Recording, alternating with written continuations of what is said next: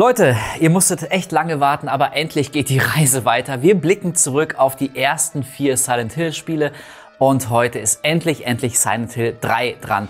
Und das wird sehr speziell, denn nicht nur in meinen Augen ist dieses Spiel vielleicht gleichzeitig das Beste und das Schlechteste der Reihe. Ich würde sogar sagen, es war der Anfang vom Ende von Silent Hill. Nehmt euch ein bisschen Zeit, wir haben viel zu besprechen. Das nächste dicke Klopper-Video steht vor der Tür. Vorher heißt es aber, abonnieren geht über inkubieren. Leute, zur Hälfte sind wir durch. Äh, wir haben über Silent Hill 1 gesprochen, über Silent Hill 2 natürlich und jetzt eben Silent Hill 3. Zum guten Abschluss werden wir dann später irgendwann auch nochmal über Silent Hill 4 The Room reden. Aber heute eben reden wir über Silent Hill 3. Und das ist nicht nur in meinen Augen naja, ein sehr spezieller Silent Hill Teil. Also ich für meinen Teil kann sagen, ähm, ich habe mich auch so ein bisschen vor diesem Video wieder gedrückt, weil ich dachte, ich kann zu Silent Hill 3 eigentlich gar nicht so irre viel sagen. Es ist das Spiel aus der gesamten Reihe, zu dem ich persönlich die, naja, schwächste emotionale Verbindung habe. Obwohl es eigentlich total geil ist und alles besser macht als jeder andere Silent Hill Teil. Klingt seltsam, ist auch widersprüchlich. Also nehmt euch ein bisschen Zeit, äh, das wird wieder mal ein dickeres Video. Jetzt kommt mein persönlicher Rückblick auf Silent Hill 3. Viel Spaß! Silent Hill 3 ist das Produkt eines Entwicklerteams auf der Höhe seiner Schaffenskraft. Team Silent, die natürlich wieder die Entwicklung übernommen haben, haben die PlayStation 2 voll im Griff. Wir schreiben das Jahr 2003, als Silent Hill 3 auf Sonys Konsole erscheint und technisch ist es ein Meilenstein. Rein handwerklich toppt das hier sogar nochmal Silent Hill 2 und Silent Hill 1 sieht dagegen aus wie eine krude Tech-Demo, die ein bekiffter Programmierer in einer Nacht zusammengedengelt hat. Die Grafik ist imposanter, die Figurenmodelle detaillierter und lebensechter, die Texturen schärfer, die Horroreffekte noch ekliger. Und äh, das hier ist wirklich ungefilterter Horror. Ich möchte sogar sagen Terror, der es ernst meint. Klar, Silent Hill 1 war auch schon unheimlich und Silent Hill 2 hat eine Menge Szenen, die einem die Gänsepelle über die Arme jagen. Aber Silent Hill 3 ist streckenweise so fucking nervenzerfetzend gruselig, dass dieses Spiel eigentlich mit einer Familienpackung Herztabletten hätte ausgeliefert werden müssen. Akira Yamaoka, diesmal auch als Producer dabei, hat wieder mal einen fantastischen Soundtrack abgeliefert. Kein atonales, industrielles Geschepper mehr wie in Teil 1, aber auch nicht mehr so verträumt und körperlos sphärisch wie Teil 2, ist das hier mehr wie ein melodisches, melancholisches Rock-Pop-Album, irgendwo zwischen Portishead und den frühen Garbage. Das erste Mal sind sogar Songs mit Gesang dabei und die sind, mit einer Ausnahme, super geil.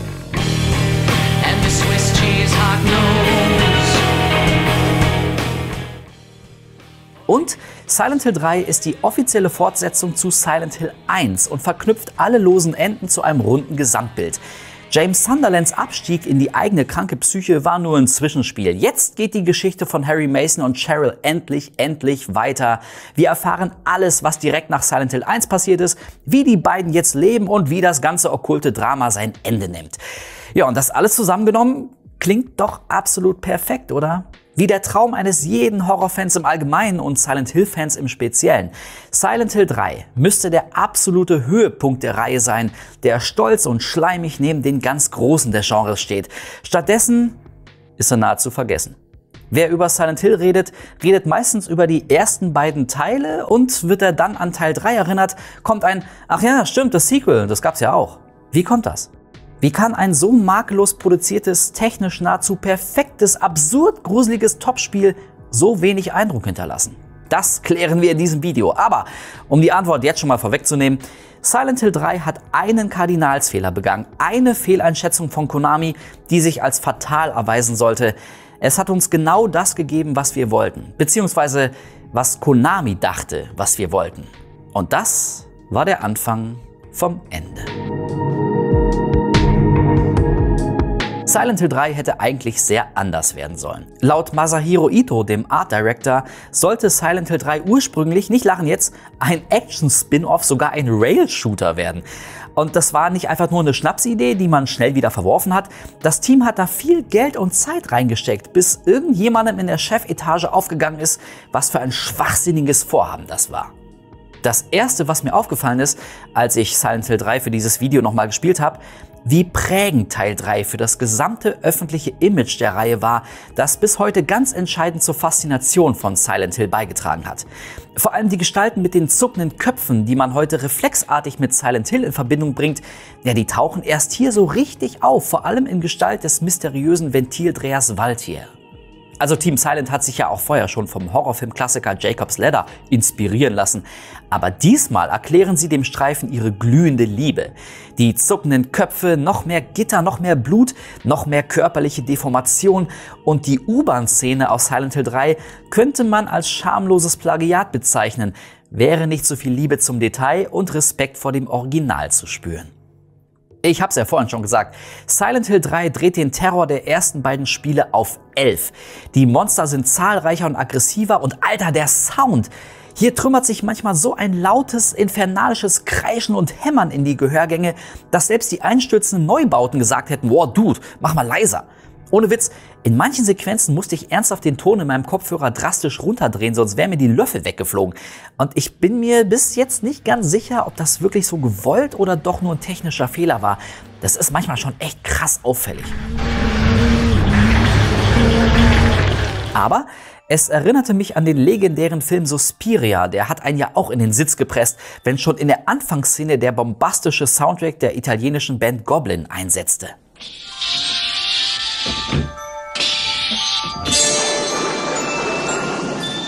Und auch Silent Hill 3 macht hier keine Gefangenen und erklärt Augen und Ohren von Anfang an den Krieg. Direkt nach Spielstart finden wir uns in einem verlassenen Freizeitpark wieder. Ohne Erklärung, ohne Warnung, alles sieht grauenhaft aus und überall rennen groteske Monster rum. Das sitzt. So beginnt man ein Spiel mit einem Paukenschlag. Klar, heutzutage würden wir diesen kleinen Taschenspielertrick vermutlich eher durchschauen. Also ich meine, wenn man so brutal ins kalte Wasser geworfen wird in so einem Spiel, dann kann man davon ausgehen, dass das noch nicht das echte Game ist und man hier einmal sterben muss. Und so ist es hier auch. Ist alles nur ein Traum von unserer Hauptfigur Heather. Aber es setzt schon ganz gut den Ton für die nächsten 5-6 Stunden. Und dieser Ton ist absoluter Albtraum. Die ersten Spielgebiete sind auch schon unheimlich. Die Shopping Mall, die U-Bahn-Station, der Wohnkomplex aber erst wenn wir ins bizarre, dunkle, andere Silent Hill gezogen werden, geht der Spaß so richtig los. In Teil 1 waren es noch Rost und Ketten, in Teil 2 mehr Verfall und Zersetzung und in Silent Hill 3 ist das große Motiv Körperlichkeit.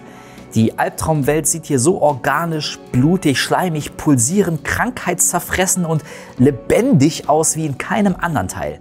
Das ist in der Story begründet, aber bevor wir auf die zu sprechen kommen, hier die krasseste Szene in Silent Hill 3. Wer es gespielt hat, der weiß, was jetzt kommt. Die hat wirklich jedem eine schlaflose Nacht verschafft. Versprochen.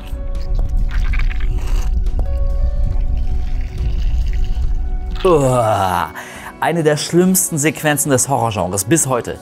Dass die ganze Szene in kompletter Stille beginnt, in die sich dann erst nach und nach so ein Schlürfen, Schmatzen und Schlurpsen mischt, macht alles nur noch schlimmer. Wisst ihr, woran ich denken musste? An eine andere Szene aus einem völlig anderen Spiel, die mir aber ebenso ein mittelschweres Trauma beschert hat. Das Intro aus dem skurrilen Saturn-Ballerspiel Blam Machine Head aus dem Jahr 1996. In dem passiert nämlich Folgendes.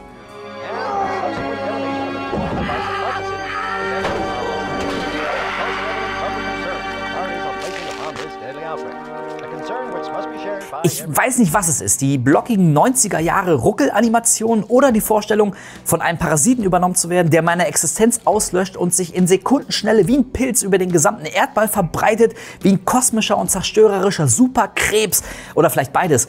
Aber beide Szenen, die aus Blam und die aus Silent Hill 3, rühren da irgendwie an einer ganz tief sitzenden Urangst, der Angst vor fremden Organismen, vor Leben, das radikal anders aufgebaut ist als mein eigenes, vielleicht sogar die Abscheu vor dem eigenen Körper. Ey, ich bin kein Psychologe, aber behaltet diesen Gedanken mal im Hinterkopf, da kommen wir später nochmal drauf zu sprechen. Aber bevor wir in die Ebene der Deutung und der metatextuellen Analyse einsteigen, geil, ne? Metatextuelle Analyse. Mm. Äh, wollen wir an dieser Stelle kurz die Story zusammenfassen und die Figuren vorstellen, die in ihr vorkommen. Und damit auch die absolut letzte Spoilerwarnung. Wer es noch spielen will, 3, 2, 1 vorbei. Also, Heather, unsere Hauptfigur und das Mädchen, das wir durch das Spiel steuern, ist in Wahrheit Cheryl, ist in Wahrheit Alessa, zumindest zur Hälfte. Das kleine Baby, das Harry Mason am Ende von Silent Hill 1 aus der Hölle gerettet hat.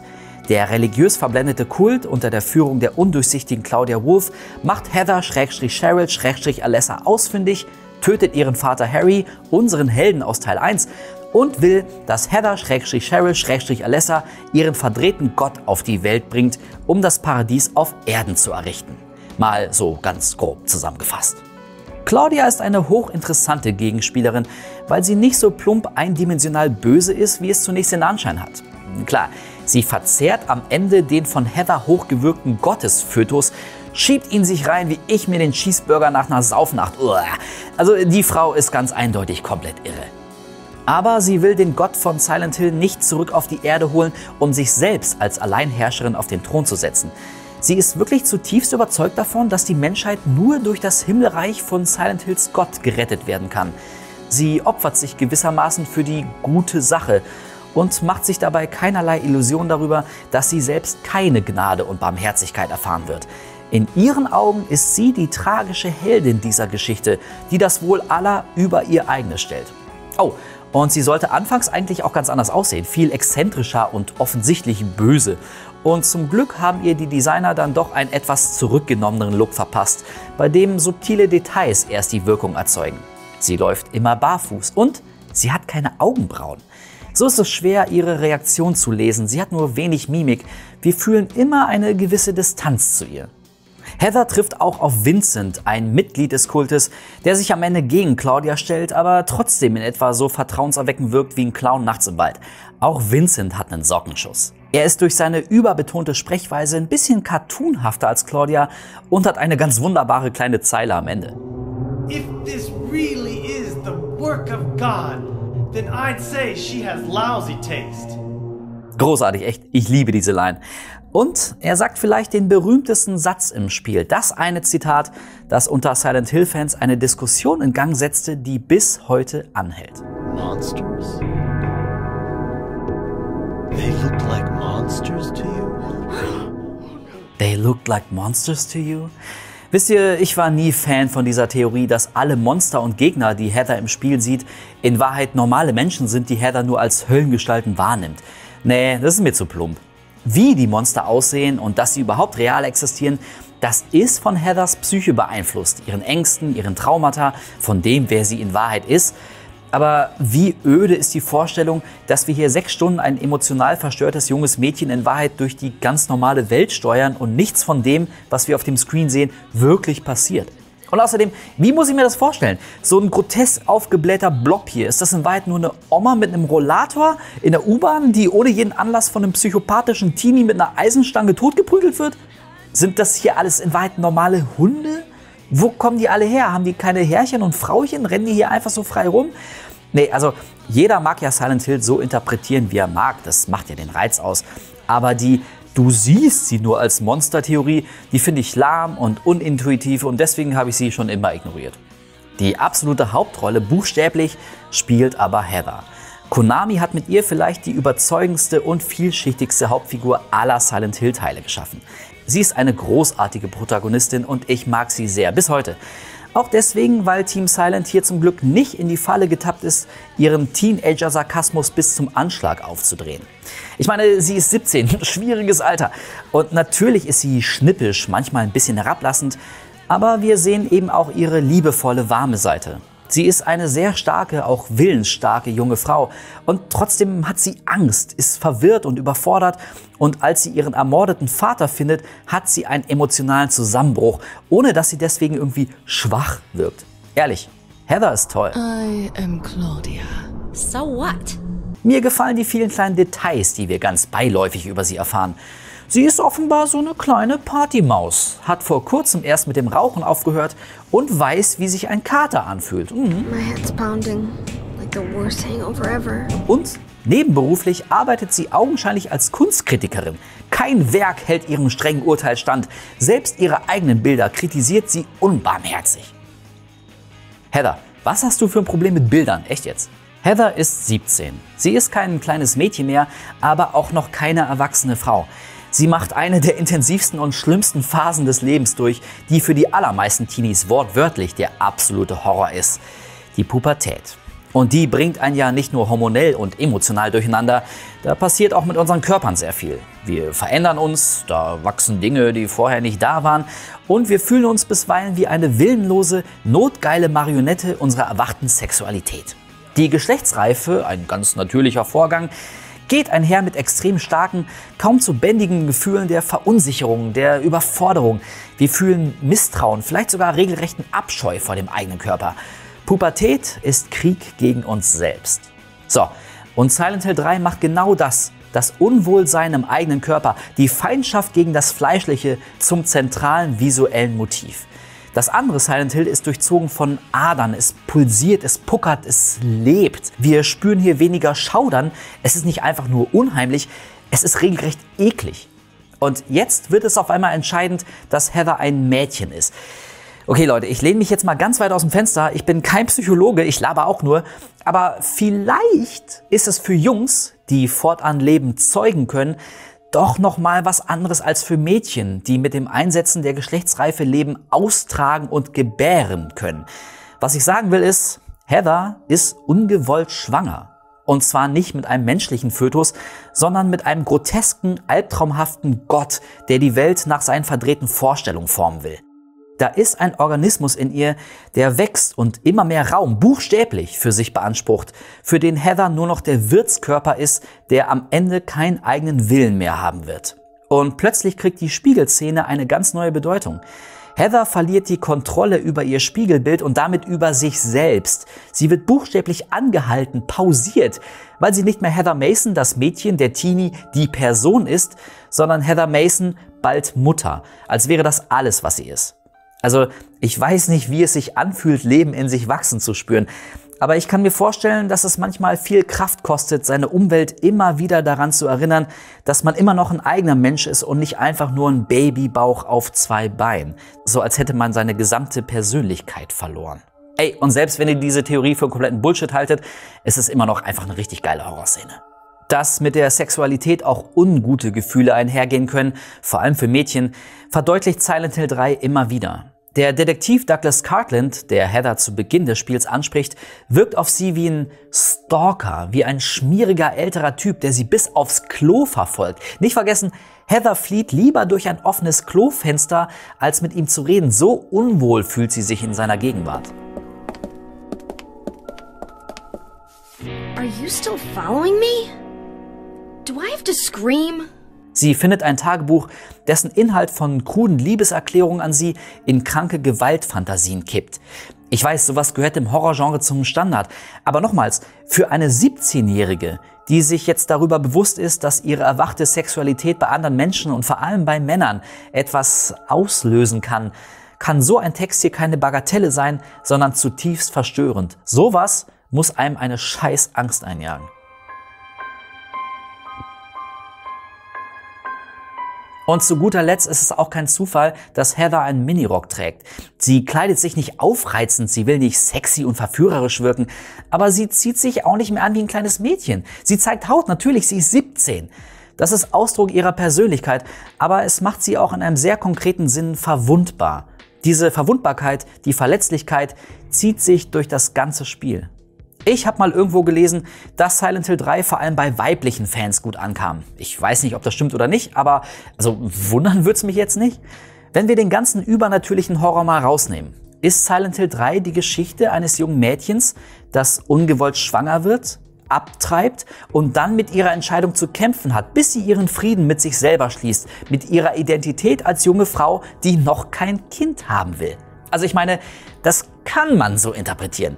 Wie schon bei Silent Hill 2 denke ich, dass man auch hier einiges rausholen kann und die Entwickler viele Möglichkeiten zur Deutung bewusst äh, nur andeuten. Aber letztendlich ist auch Silent Hill 3 ein Videospiel, das zur Unterhaltung gemacht wurde und sich gut verkaufen sollte. Ich will sagen, der komplexe psychologische Unterbau ist auch hier eben das ein Unterbau. Man kann Silent Hill 3 aber auch einfach nur als hervorragend produziertes Horrorspiel genießen.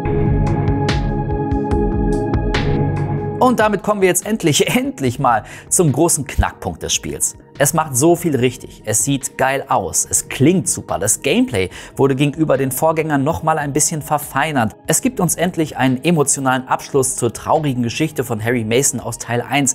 Klingt doch alles nach einem Home Run. Also warum ging Silent Hill 3 in der öffentlichen Wahrnehmung so unter? Ich glaube, die kürzeste und einfachste Antwort ist, weil es vorher Silent Hill 2 gab.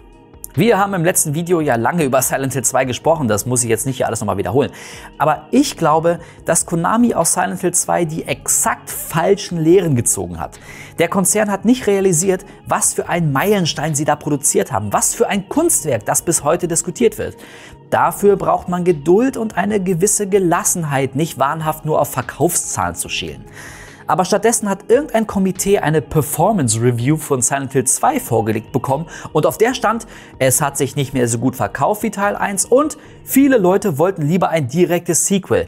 Nicht vergessen, die ersten Reaktionen auf Silent Hill 2 waren nicht überall positiv. Und Konami tat vermeintlich das einzig Richtige, um die Serie zu retten, und es war doch genau das Falsche. Es ging auf Nummer sicher, eliminierte so ziemlich jedes kreative Risiko, feilte alle Ecken und Kanten ab und gab den Fans einfach mehr von dem, was sie kannten und haben wollten. Silent Hill 3 fühlte sich zum ersten Mal wie eine kalkulierte Auftragsarbeit an, wie ein Produkt, für das weniger Kreativität und Originalität verantwortlich waren, sondern die Marktforschung. Silent Hill hat bis dahin radikal sein eigenes Ding gemacht und sich gerade so seine Nische geschaffen. Teil 1 war die Geburtsstunde des psychologischen Horrors im Mainstream und etablierte bis heute geltende Konzepte wie eben das andere Silent Hill und wie es aussieht. Teil 2 war ein introspektives psychologisches Drama, das Motive aus Teil 1 aufgriff, ansonsten aber für sich selber stand und in sich abgeschlossen war. Und Teil 4, The Room, der nur ein Jahr nach Teil 3 auf den Markt kam, bei aller Kritik und ja, wie gesagt, das wird das letzte Video in dieser Reihe. Aber also es hat so einiges verguckt, aber es hat wieder die komplette Reihe auf den Kopf gestellt, wieder was ganz anderes gemacht und sich nicht drum geschert, ob das jetzt die großen Verkaufserfolge verspricht. Jede Episode hat ihren ganz eigenen Charme, ihren eigenen unverwechselbaren Charakter mit Schrulen und Macken. Nur Teil 3 will es allen recht machen. Perlen in Austern bilden sich, wenn Parasiten in sie eindringen, die den Organismus bedrohen.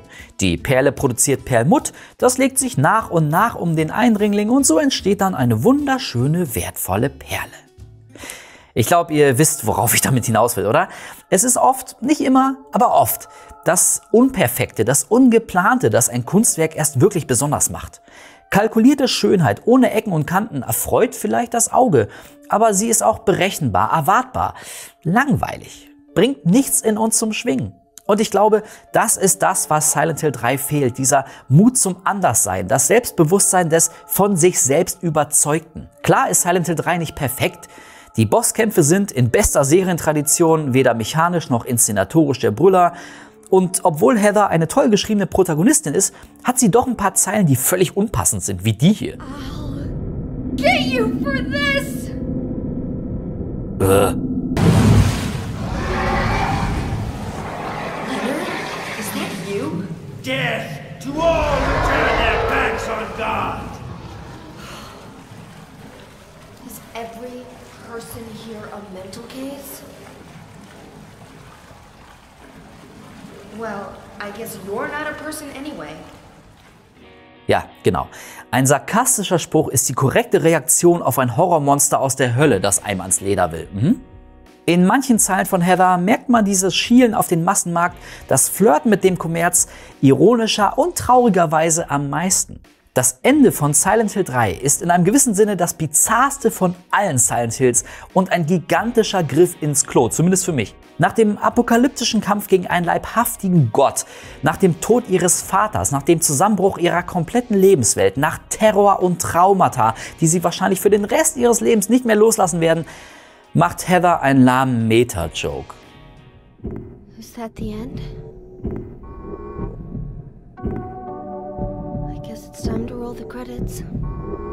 Gefolgt von einem ultra schlechten, ich wollte dich nur ein bisschen erschrecken, lol, Kinderwitz. Oh.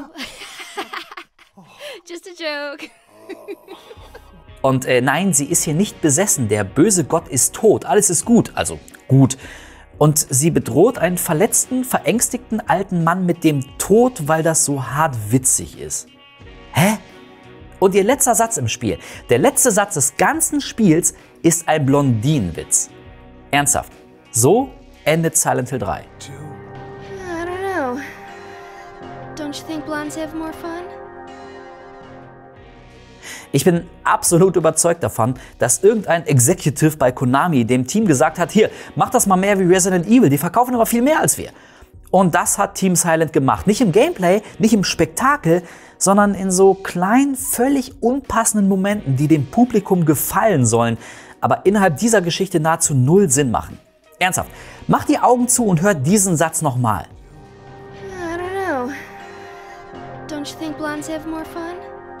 Das klingt doch nicht nach Silent Hill. Das klingt nach der letzten Einstellung in einem Resident Evil, bevor unsere coolen Dudes und Dudettes in einem Helikopter Richtung Horizont ballern. May I remind you that you're still on duty? Story of my life. Ach ja, und Akira Yamaoka ist ein Genie, keine Frage. Aber das wunderschöne Motiv aus Silent Hill 1 mit so grottenüblen Lyrics zu verschandeln, war jetzt nicht seine beste Idee. spoke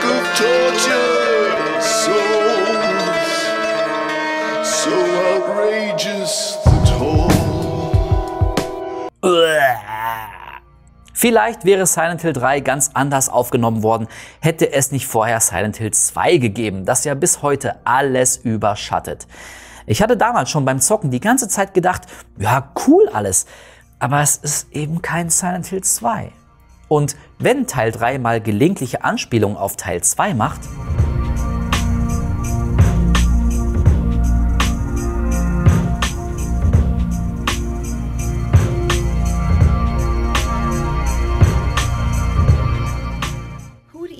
think of doing something so disgusting? James, you made me happy. I never had a chance to tell you. To tell you how happy you made me. Dann ist das ein nettes kleines Bonbon für die Fans.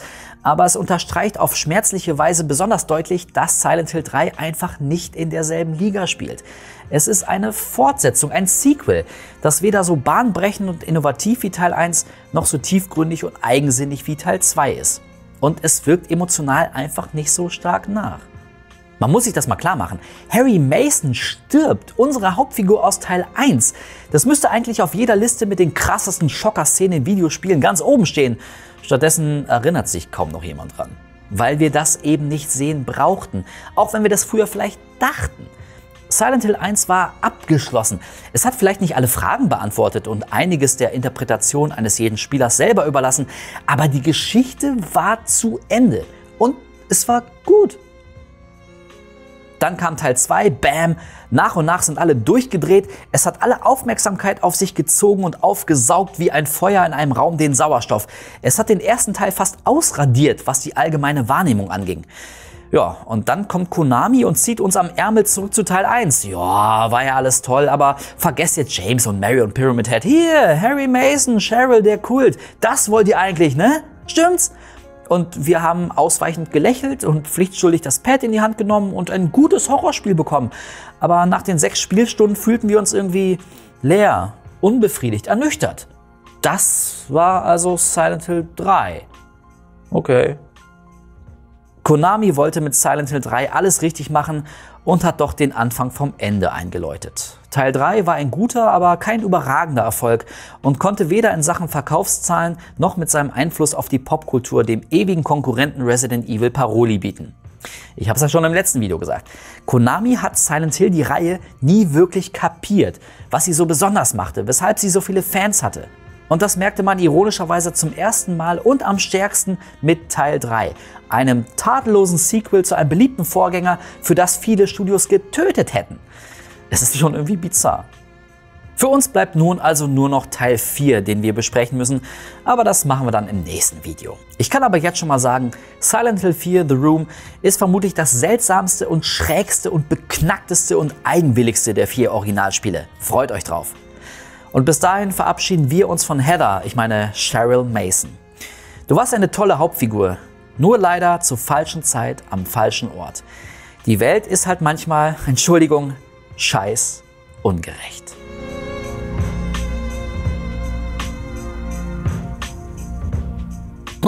So das war wieder meine viel zu lange Einlassung zu Silent Hill 3. Ich habe es am Anfang gesagt, ich dachte echt, das wird das kürzeste Video von allen Silent Hill Videos, weil na, zu Silent Hill 3 kann man nicht viel sagen. Aber dann gab es ja doch ein bisschen was. Ähm, schreibt mir wirklich sehr gerne in die Kommentare, was ihr von meiner Analyse haltet, also diese ganze Schwangerschafts-, Pubertäts-, Sexualitätsgeschichte. Ähm, seht ihr das ähnlich? Ähm, haltet ihr das für einen kompletten Blödsinn? Habt ihr Silent Hill 3 immer völlig anders interpretiert? Ja, lasst uns drüber quatschen. Ich hatte auf jeden Fall wieder viel Spaß mit diesem Video, ganz im Ernst. Also es macht echt immer großen, großen Spaß, eure Kommentare zu lesen.